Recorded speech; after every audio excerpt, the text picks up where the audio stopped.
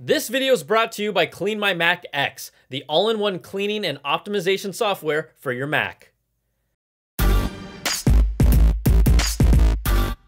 What's good everybody? Brian Tong here and welcome to the Apple Bits for everything good and bad inside the world of Apple.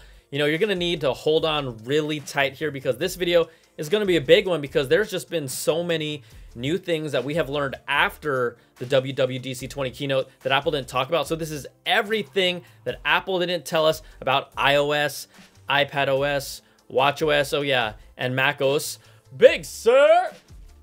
And more. So really quickly, we got to talk about it before we get started. Your eyes do not deceive you. I finally got a trim after what, like four months, and I couldn't go to my regular person. So yeah, the uh, the stripe, it's gone for now. And I mean, the comments though about my hair. They were starting to get a little out of hand. Like this one from Lance Johnson that said, Wow, a buddy, you're gonna make some bird jealous with that home. Or this one, Celio Clark, Brian got that Sprint PCS haircut. Like the logo? But you know what? There were plenty of others. I'm sick and tired of your comments, Bob. Like this one and that one. Ah. So yeah, Quarantong was kind of getting out of hand. All right, let's get into what Apple didn't tell us, and we have to start with iOS 14. The developer beta is out, so people have had some real time with it, and Apple has said that the public beta is coming sometime in July. I put it on my iPhone 10R, not my daily driver, and if you're an Apple user, you're gonna love its new functionality. I almost wanna put it on my daily driver, almost, but I won't. Now, the biggest feature getting buzz is this new back tap feature that's buried inside the accessibility options only in iOS 14. This is not on iPad OS. And this gives you the ability to double tap the phone twice or triple tap it on the back to perform an action. Now, it could be anything from accessing Control Center or even taking a screenshot. You can get quick access to accessibility options as well, but if you want to really like take it to that next level, you can take the shortcuts that you've created in the Shortcuts app or even make a new one and then select them for the double tap or triple tap. So you can map the Google Assistant to the double tap and it launches on screen. Like how crazy is that? Shout out to MKBHD for that one. And then for my triple tap, I gotta go with playing my BTS songs. Army! Now these are both shortcuts that you can set for the back tap feature and other apps that support shortcuts will allow you to create what you want. So I guess I'm tapping that app from the back now. Okay, fine. Now, there's plenty of other features Apple didn't talk about in iOS 14. You can now search for an emoji by typing it in by name instead of scrolling forever, so it'll be easy to find the peach or eggplant or splash emoji. Now, I couldn't find it when I typed in squirt, but I did when I typed in splash. Whenever you copy or paste text now, it notifies you where the text has been copied from. It's Apple showing more transparency so you know what's happening and from where. It also hasn't been shown off yet, but according to the Apple Maps iOS 14 preview website, their maps will let you know when you're approaching speed cameras or red light cameras along your route. It will actually show you where these individual cameras are located on the map. How crazy is that? Also, a new accessibility feature to iOS 14 is called sound recognition that can notify users about certain sounds like fire alarms or doorbells to help people that are hard of hearing. It has a wide range of sounds that you can select. It can listen for things like cats or dogs, or maybe household noises like water running or people like a baby crying. So I think that's going to be super useful as well. Now, iOS 14 will also work in partnership with the Apple Watch and notify you when your watch is fully charged. Now, why is this helpful? Well, this is going to help people use the new sleep tracking if, let's say, they wear their watch overnight and they'll need to charge it in the morning while they start their day. You'll be notified when it's ready to just pull off and go ahead and get it. Now, in camera news, some earlier hardware is getting Apple's quick take feature. That's when you're in the photo mode and you want to take a video without switching it and swiping on the bottom. You can just hold down on the shutter button to capture a video clip. This now works on the iPhone 10R, 10s, and 10s Max. Plus, switching the resolution and frame rate in the top corner is now available on all iPhones running iOS 14. It wasn't before. Now, Apple showed off Car Key at WWDC. That's to use your iPhone as a key and showed it working with a 2021 Series 5 BMW, not a car that I'll be getting anytime soon, but BMW did announce that the digital key will have broad availability across over a dozen models, including their Series 1, 2, 3, 4, 5, 6, 8, X5, X6, X7, X5M, X6M, and the Z4 that are manufactured after July 1st, 2020. Now, BMW also said it would work with iPhone 10R, 10s or newer, and Apple Watch Series 5 and newer. Apple never mentioned Apple Watch compatibility during the keynote, but soon, think about this, you won't need to bring your keys or your phone to still be connected. And I'm absolutely loving the idea of just a more independent Apple Watch feature that it gets like a little closer, just like with little baby steps each year, real tiny steps, but we're getting there. Now, iOS 14 will be compatible with the iPhone 6s, 6s Plus, and later, and the 7th generation iPod Touch. So you got those all covered, but let's now jump over to iPad OS 14. It'll be compatible with all iPad Pros. Then if you go down the list, the 5th, 6th, and 7th generation iPads, plus their iPad Mini 4 and 5, and the iPad Air 2 and 3rd generations.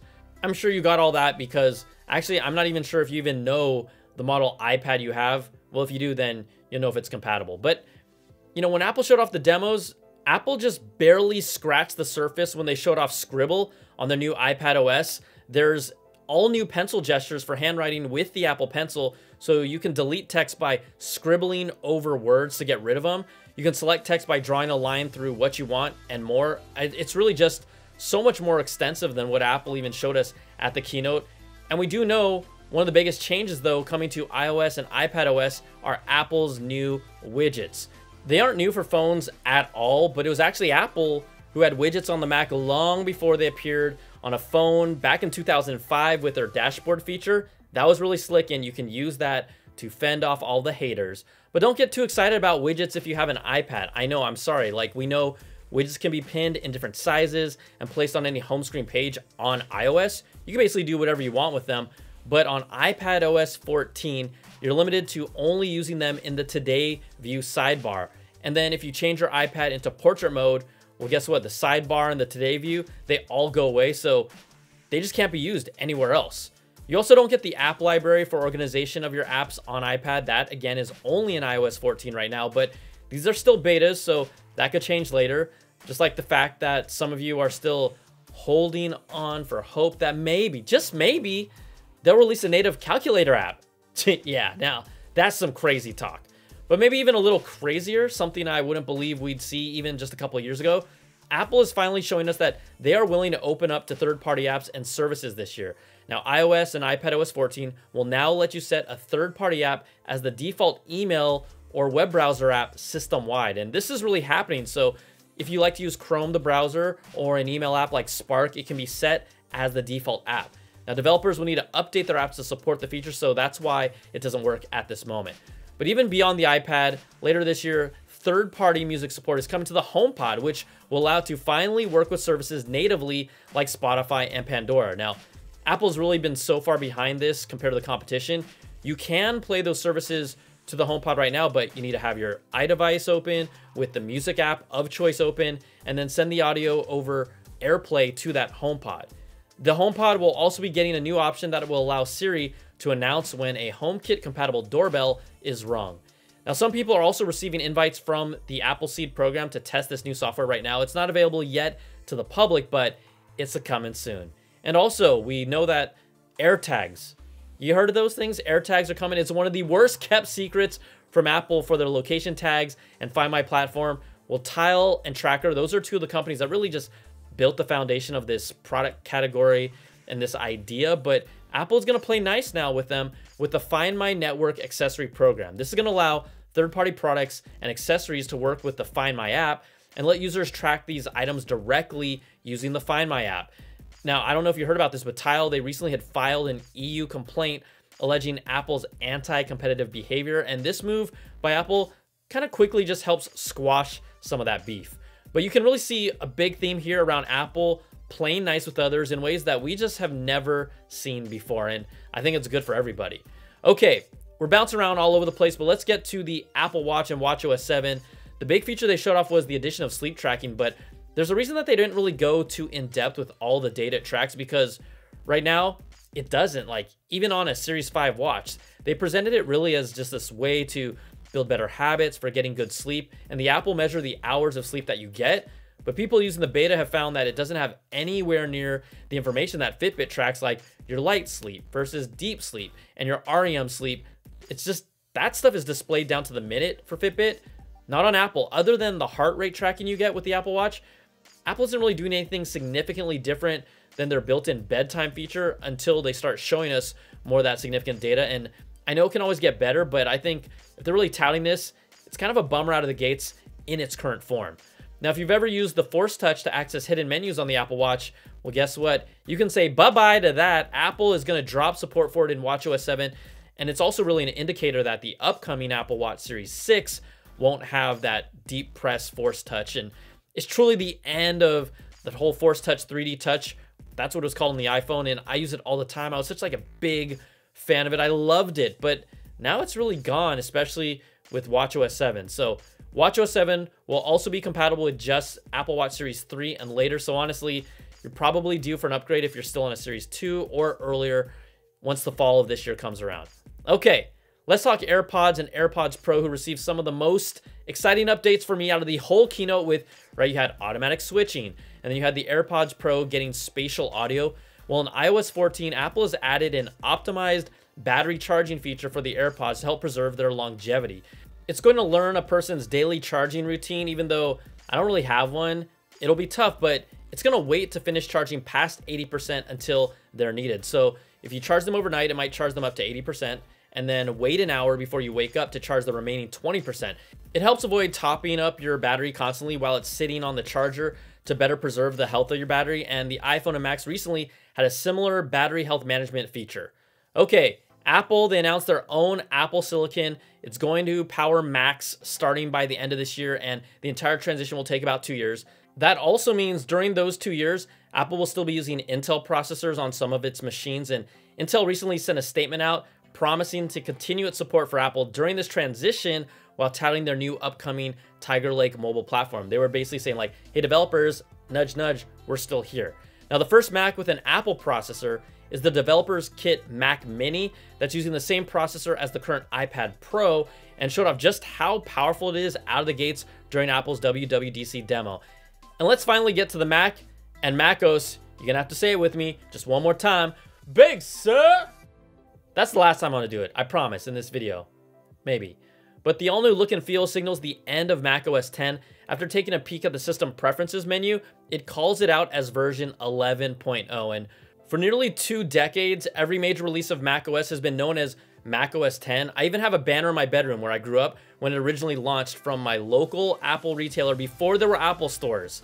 So yeah, I was one of those guys and I'm not ashamed, but I've grown as a person. Like this boy has become a bigger boy and I've learned a whole lot more about myself and the world. I'm still buying many Apple products. Now, the biggest change that's music to my ears is that Apple has brought back the iconic startup chime in Big Sur. Some people don't even remember it or even know it, but it's so nostalgic. I love it. They've even added a sound for older Macs with the MagSafe connector when you connect it. It's similar to the sound that it makes with the USB-C Thunderbolt 3 cable when it's plugged in. And then when I played around with the beta, they have new sounds for emptying the trash or even just moving files out of folders. So it not only looks new, but it sounds new. Now, one of the questions I get the most from you all, will Apple's new chip support virtualization apps to let you run Windows on a Mac with apps like VMware or Parallels? And the quick answer is no. Apple documentation officially states it will not work with virtual machine apps that virtualize x86 64-based computer platforms. And I'm sorry, that's a sad Apple.